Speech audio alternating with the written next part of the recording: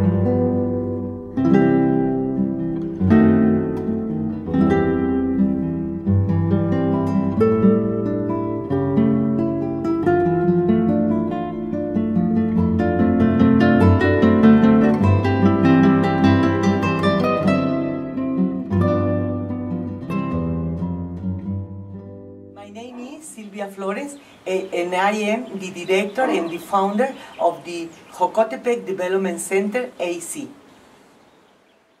¿Qué te motivó a dedicar su vida a su trabajo con las mujeres? La discriminación en contra de la mujer, primeramente, y eh, en ese tiempo y ahora sigue siendo, aunque ahora hemos trabajado mucha gente para lograr el cambio, pero la discriminación el poco acceso de las mujeres a la información, el poco acceso a las mujeres a la educación y sobre todo el poco acceso al conocimiento de su cuerpo, de cómo controlar sus funciones reproductivas. Los derechos reproductivos salen inmediatamente al ver que las mujeres no tienen ninguna opción para planificar la familia.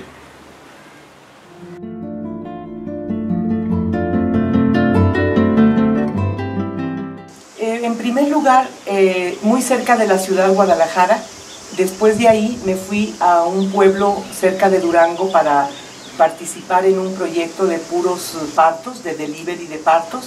Y ahí hicimos nuestro esposo y yo planes para venirnos a venir al lago de Chapala porque nos gustó siempre. Y los planes no fueron venirnos ni a Jijic, ni a Jocotepec, ni Chapala, que eran las ciudades o los pueblos más grandes, sino que decidimos irnos a uno de los más pequeños, San Pedro Tesistán, una comunidad que en aquel entonces, en el 1974, tenía tan solo 3.000 habitantes. En ese pueblo, que no había absolutamente eh, educación para la mujer, sino que las muchachas no terminaban ni la escuela primaria, decidimos hacer nuestro hogar por muchos años y duramos 40 años viviendo en San Pedro Tesistán y eso es lo que nos motivó. De ahí me moví a otras comunidades más pequeñas todavía para empoderar a las mujeres y hacerles saber sus derechos reproductivos y atenderlas en su salud de calidad. Lo primero que hice fue detectar las necesidades de salud de la, de la comunidad. No había nadie que diera una inyección. no había nadie que diera un servicio médico, no había, no había enfermera, no había doctor, y en Jocotepec, la cabecera municipal, había uno o dos doctores, era todo. Entonces empiezo yo a enseñar primeros auxilios a las mujeres porque era tan importante esta necesidad. En ese tiempo había muchos alacranes, todavía hay, pero ya ahora hay más cuidado y más educación, y algunos niños habían muerto por piquete de alacrán. Es la decisión que tomo de dar salud a todas las comunidades pequeñas.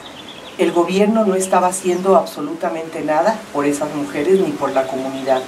Por eso decidimos irnos a la comunidad más pequeña después de ver que Ajijí, que, Jocotepec y Chapala eran muy grandes y muy bonitos, pero decidimos que nuestros servicios eran más necesarios en San Pedro Tesistán.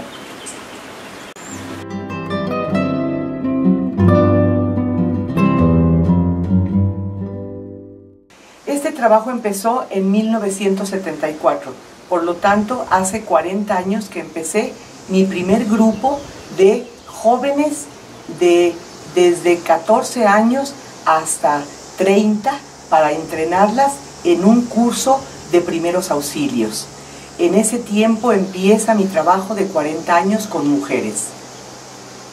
Yo pienso que llegué a las mujeres porque era un momento muy crítico y muy importante el 74. Eh, como las muchachas no estaban estudiando nada más que la escuela primaria algunas, entonces el llegar a ellas fue muy fácil. Las invité a, que si les interesaba participar en un curso de salud y inmediatamente tuve más de 40 muchachas en mi, en mi primera audiencia, en mi, primera, en mi primer tallercito. Este taller duró un año y medio porque metí no nada más primeros auxilios, hablé nutrición, planificación familiar, eh, comunicación entre la familia, eh, aspectos de los derechos de las mujeres. Entonces fue un proyecto muy completo que yo sé que a las mujeres les gustó mucho porque de ahí salieron dos parteras extraordinarias que hasta la fecha siguen trabajando. Eh, empiezo a trabajar realmente en forma sistemática y ya con programas específicos en el 1974, pero empecé realmente antes, porque termino mi carrera y mi servicio social lo hago en una comunidad muy lejana del estado de Durango.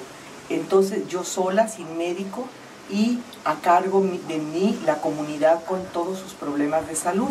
Entonces empiezo este trabajo y en 1974 empiezo en las comunidades y me voy moviendo hacia todas las comunidades para enseñarles los primeros auxilios y detectar a mujeres para capacitarlas para ser parteras.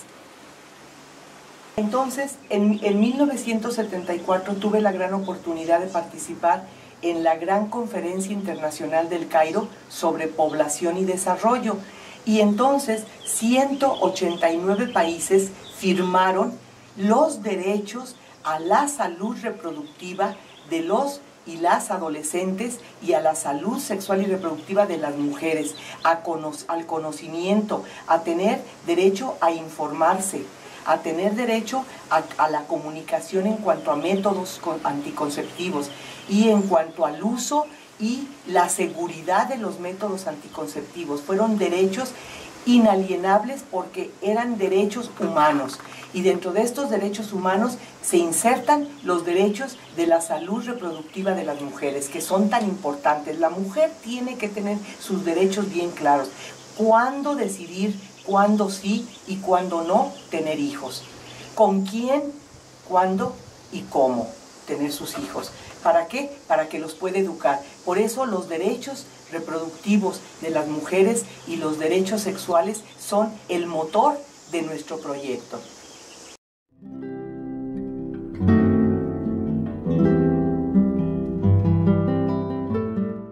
En el 1986, una gran organización de Boston, Pathfinder, eh, nos, eh, da un, un grant, un financiamiento para, a través de promotoras voluntarias, extender los servicios de planificación familiar a 11 comunidades.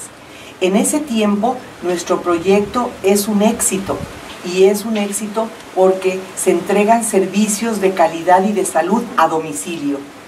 Se entregaban pastillas anticonceptivas a domicilio y condones y se daba asesoría a domicilio a través de las promotoras, de una red de promotoras voluntarias y promotoras ya pagadas por el, el Pathfinder. El Pathfinder nos toma como un ejemplo de proyecto comunitario. Nos toma como un ejemplo de proyecto en el que la comunidad se involucra para participar en el proyecto y hacer el proyecto la propia comunidad. Es por esto que logramos un éxito rotundo con el programa de planificación familiar o que ahora se llama salud sexual y reproductiva.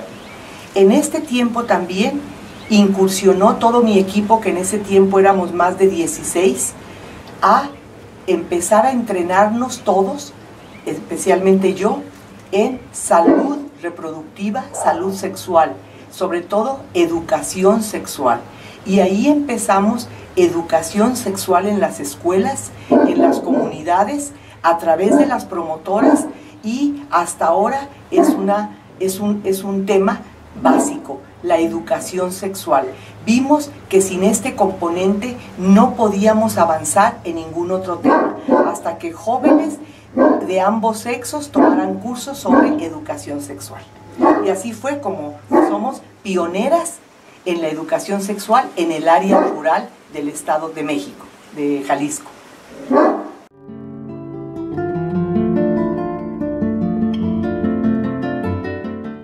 Ahorita la situación global mundial es terrible. Cuando estuvimos en Cairo examinamos las tendencias, las tendencias poblacionales para el 2015 iban a ser terribles. El 2015 es el año que entra y ya se veía venir para México una grandísima población, eh, más de 120 o 130 millones para el 2050.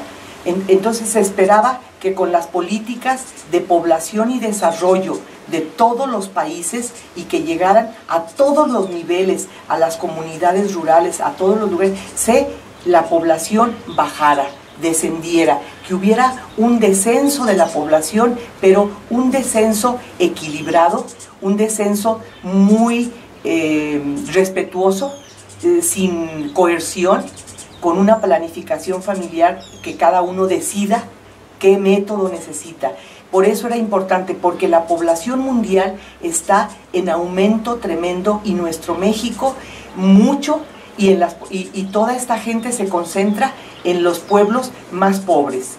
La mujer es la más pobre, las mujeres son las que tienen menos acceso y son más mujeres que hombres. En México somos el 52% de mujeres que de hombres. Entonces es por eso se dirigió al principio el programa a la mujer, pero ahora es importantísimo involucrarlo desde hace mucho tiempo al hombre también, para que entre ambos decidan sus aspectos de la reproducción, por la población y por el hambre que viene.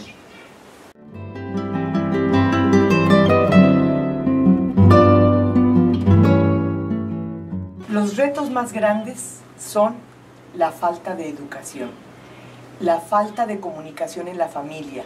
La familia no habla de la sexualidad. Es algo que se tiene que tratar en familia, que tenemos que educar en la familia a los hijos en sexualidad para que los hijos tengan actitudes sanas en el futuro. La segunda instancia que debe educar en sexualidad es la escuela. La escuela no está educando tampoco en sexualidad, no está educando a la familia. La tercera instancia serían las iglesias, tampoco. Las iglesias, ninguna iglesia, menos la católica.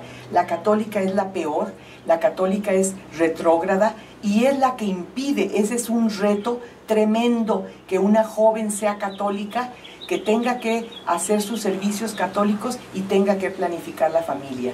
Primero, hay que quitarle de su mentalidad el efecto de que es pecado. Tenemos que trabajar, luchar contra eh, eh, efectos culturales muy profundos, muy enraizados en la cultura y aparte el machismo.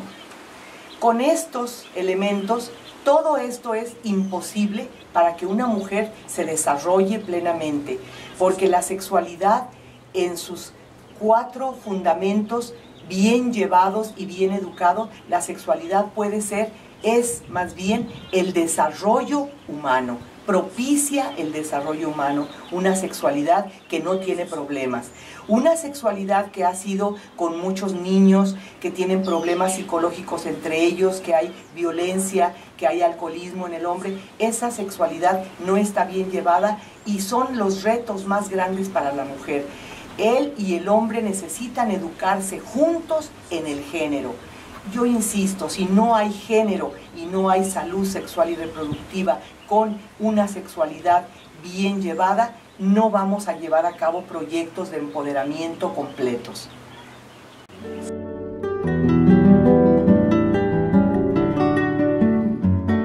La amenaza para las mujeres de hoy, para todas las mujeres en general, ha sido siempre, como dije ya, el no asistir a la escuela, el no prepararse, el no ser autoindependientes, el no ser autosustentables. Eso es tremendo, porque mientras una mujercita estudia, sale la primaria, la secundaria y tiene una carrera técnica o una carrera profesional, su, vida cambia. Cambia su vida porque es una mujer educada.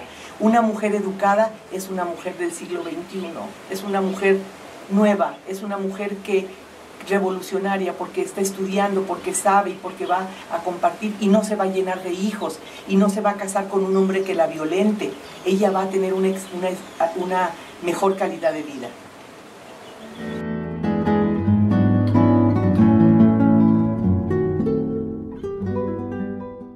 Tengo una paciente que llegó muy tarde con una pequeña infección en, su, en sus partes genitales que se hubiese podido evitar si ella no tiene vergüenza. Ella tuvo tanta vergüenza de ir al, al chequeo que se hizo una infección mucho, muy grande y casi pone en peligro su vida. Esto hace muy recientemente, esto hace como un mes y medio que pasó, y yo he estado muy al pendiente de la mujer, no pasó, pero sí pudo haber muerto porque se hizo una infección generalizada en su cuerpo por no haber ido a tiempo a un examen de Papa Nicolau.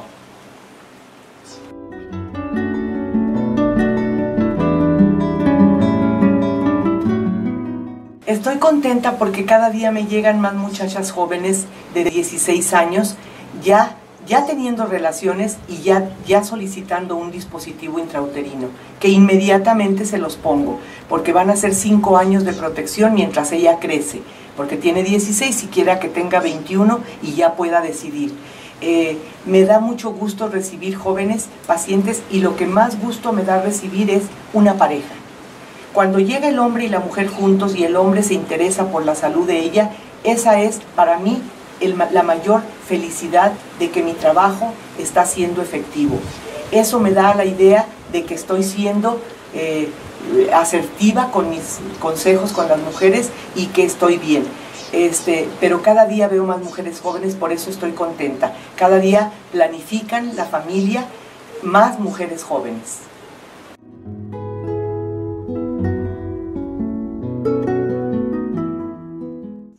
muchos cambios y espero ver más, porque cada día hay más mujeres como yo que se dedican a la enseñanza de otras mujeres. Hay muchas asociaciones civiles como la mía que estamos trabajando en el mismo campo, en el campo de la salud sexual y reproductiva, que estamos trabajando en el empoderamiento de las mujeres, en la autoestima de las mujeres y que estamos trabajando en el género. Esto es importante y yo sí he visto muchos cambios y espero ver más mis 40 años, quiere decir que ya pasé muchos años yo de mi vida dando esto, pero ya tengo y estoy preparando quién va a continuar con mi labor.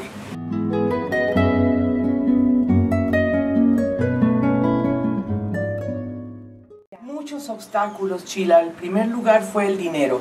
El dinero ha sido un obstáculo tremendo desde que se fueron nuestras, nuestras agencias financiantes se, empezamos a tener muchos problemas de, financiamiento porque esto ha sido muy difícil. Este es el que más nos afecta. Lo otro, lo que más eh, puede eh, afectarnos, en nuestro, afectarme, y, y los retos y los desafíos son continuar con este trabajo y con el nuevo proyecto que nace, que es Mujeres, Poder y Poder de Vida. Este nuevo proyecto nos ofrece una gran, el abordaje de la salud de la mujer de una forma holística, de una forma completa. Entonces, este, es el, este es el reto, hacer que este proyecto funcione y lo llevemos a las comunidades. Yo siento que el 2015 es importante para nosotros y esperamos tener dinero y esperamos que este reto se nos pueda cumplir, ya que ahora cuento con un equipo extraordinario, un equipo de mujeres líderes, de mujeres comprometidas con la problemática socioeconómica que tenemos y moral, no nada más socioeconómica, de valores. Y estoy contenta por este grupo y claro, me dan miedo los retos, como toda la vida me ha dado miedo, pero he enfrentado estos retos yo creo que hasta con valentía, porque sin tener dinero hemos salido adelante.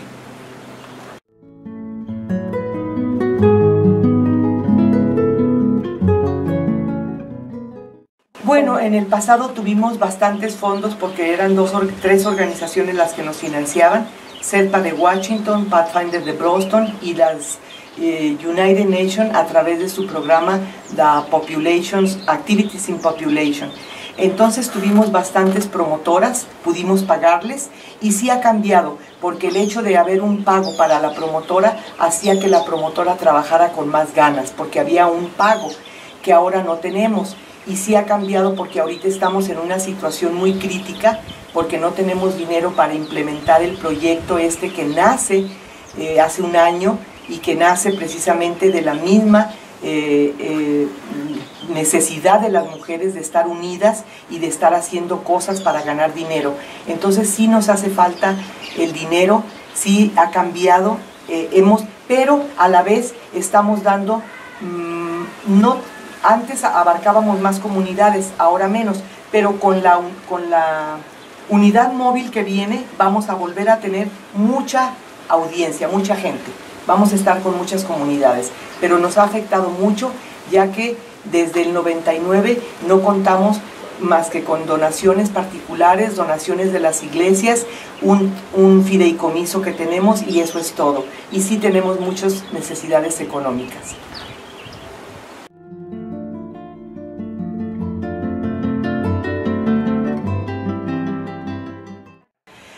Sí, algunas veces me he dicho a mí misma que el gobierno es función de él y que el gobierno es el que debería de estar tratando todas estas cuestiones de salud. Pero cuando veo que no es así, más me involucro porque pienso que solamente en este proceso de dando me salgo de mí misma, puedo ayudar a los demás y me ayudo a mí. A través de la ayuda de los demás he aprendido a ayudarme a mí misma y jamás dejaría este trabajo ya que es mi pasión, es mi vida. Eh, el, prevenir el cáncer cervicouterino y de mamas y el, de los cuidados de la salud reproductiva han sido la pasión de mi vida y han sido mi aportación a, esta, eh, a este tiempo de historia que me tocó vivir. Ha sido mi aportación, yo siento que he sido una mujer que he aportado que, soy útil a mi sociedad con la que vivo y eso me ha hecho ser feliz, feliz, tranquila, porque hago lo que me gusta, las mujeres y el trabajo con ellas. Cuando fuimos el primer proyecto que, que fuimos nombrados proyecto del año, por ser educación sexual lo que estábamos enseñando, me dio mucha esperanza, porque vi que la comunidad no tanto la, comunidad mexicana, sino nuestra comunidad extranjera que ha sido extraordinaria conmigo, con mis servicios, con mi centro, son los que nos dieron un award, un reconocimiento. Estos reconocimientos que nos han dado a través de este tiempo son también los que nos han dado el motor para continuar. He sido proyecto del año, mujer del año, me han dado el Lifetime Achievement Award, he sido pionera del año por la educación sexual, mi equipo y yo, y estamos muy contentas con el reconocimiento que hacen y por eso es que seguimos con la lucha y vamos a seguir luchando.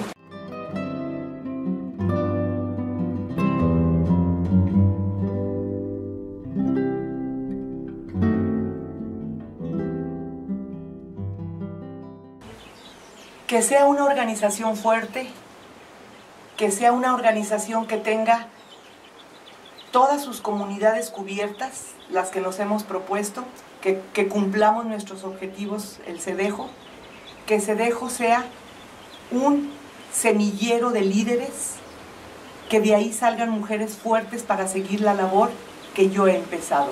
Espero que haya muchas mujeres que puedan seguir mi labor para que no se vaya a perder. Pero el CEDEJO tiene futuro. CEDEJO tiene futuro porque estamos en, la vida, porque estamos en las organizaciones, estamos siendo compañeros y socios, y estamos trabajando y CEDEJO tiene futuro. Necesitamos nada más un pequeño empujón y CEDEJO va a salir adelante.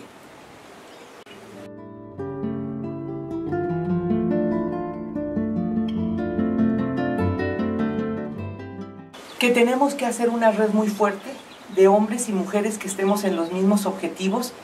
No importan nuestras creencias, no importan nuestras ideologías, pero hacer un trabajo muy fuerte y unido para seguir trabajando con las comunidades.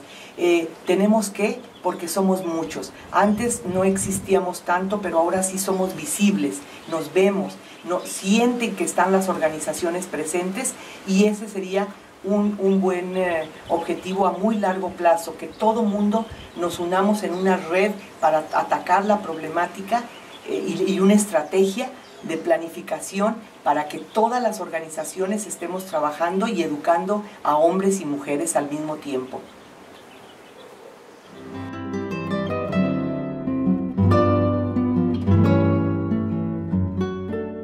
Muchas gracias. Sí.